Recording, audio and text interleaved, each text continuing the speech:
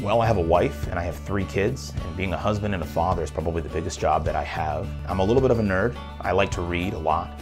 I enjoy working out. I love sports. I play chess. Dentistry runs in my family. Um, I have grandparents and great grandparents and great uncles who are all dentists.